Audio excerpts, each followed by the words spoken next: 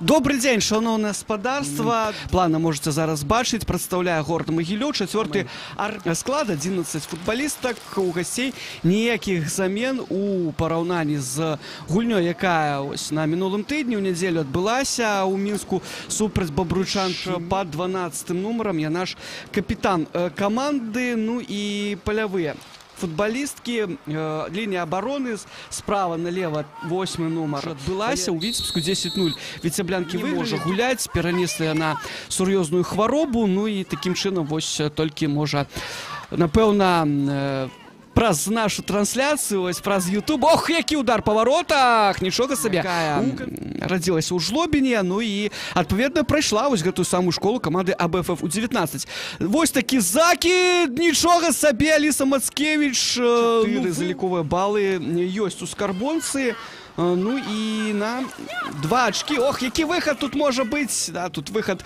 не тое што сам насам а атрымалася так што віцебс выходзіць наперад у канцы восьмай хвіліны м, у адгуляным становішчы ўжо аказалася ліса маскевич і пустую рамку паразіла кацярына янчыленко радасць віцебскіх футбалістак ну канешне гол. І гол хуткі ну, гэта ўжо канец да нам бы паглядзець як там усё развівалася самага пачатку. Да кацярыны янчыленко ольга васильева чарлёнак. Укід на узуну адзін дотык уляна мяч вяртае чарлёнак. Ну і што падача будзе ў штрафную пляцоўку як не паспявае. Да зараз адразу адразу у прэсінгу уступаюць футбалісткі АБФ уляна узун там э, перашкаджала ну вось такая перадача сіняўская выходзіць з варот конак працягваецца атака АБФ гуляе галавой якушевич і есьман удар і мяч у варотах Аліна Чарлёнак 16 хвілін на 1-1 Да, ну вось такі хаос адбыўся тут у штрафной пасля выхада з варот Лізаветы конак. Мяч яна не утрымала ў руках. Ну і бачылі вы што далей адбывалася. Такі вось вэрхал да э, напісала у чаце. Ох зараз павінна была да уступаць Ганны сіняўскай падача Ну і Ганна Денисенко б'е па варотах яшчэ адзін вуглавы будзе. Да ну, аўтар першага мяча ў нашай гульні верхалайцава удар! І трапляе трапляе у саперніцу да. У нас будзе пенальці. Зараз гасцей. Каля мяша Алена Бузінова. І гол!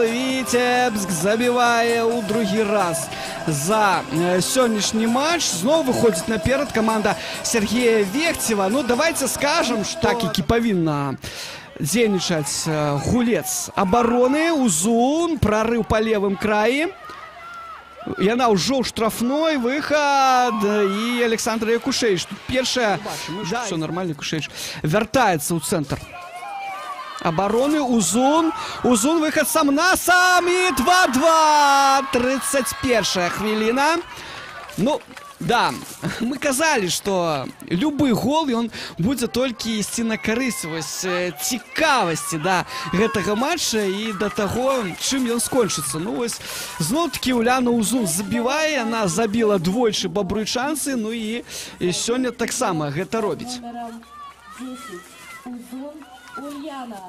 Гэта сёмы гол э, Ульяны ў чэмпіянаку можна заўважаць вось э, падчас трансляцыі матчу жаночай вышэйшай лігі які пас ат узун ідзе удар. Ну ідзе мяч. Не не трапіць ён у вароты да была вельмі блізка ганкі бачым мы што і правай ногой. Няблага разбіраецца Янчыленко Мацкевич выходзіць э, мяч выбівае за межы штрафной. Называются ў лоб Э, чаму федэрацыя не публікуе протакол да гульні Э, публікуюць жо по протакол на афіцыйным сайце бфф 19 ох у нас да пакуль я тут на пытанні адказваў у нас тут выдаленне Елізавета конак.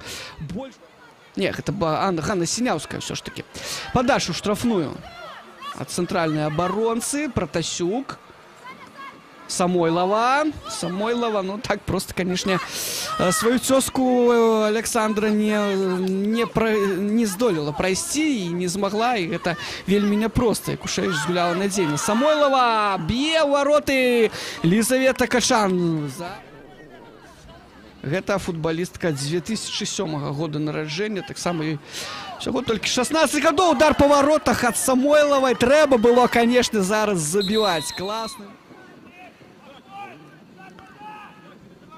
І яшчэ одна падача. Галавой удар забівае. Забівае Александра Самойлова. Ну вось не забіла яна на той самай 57 ці то 58 хвіліне калі на ёй правілы конак парушыла. Ну а на 71 яна гэта робіць галавой на бліжняй стойцы. Яна ну просто укалаціла мяч у сетку. Яшчэ раз давайте глядзець. Ось такая падача паглядзець перад гульнёй я на гэтае пытанне вам адказаў. Падача з вуглавога мацкевич гуляе кулакамі меж завісае над штрафной. Якраз таки зараз яе падтрымала. Ось такая ракіроўка пазіцыямі. Есьман зноў на пратасюк Пратасюк любіць вось вольную прастору можа на разбегчыся Ну а гэта падача ад пашкоўскай выходзіць з варот качан і мяч забірае ў руки толькі вось не могуць зразумець э, ці то гэта шындзікаў ці то вехцеў Ну, абодва, безумоўна, абодва спецыялісты зараз вельмі вельмі нервуюцца.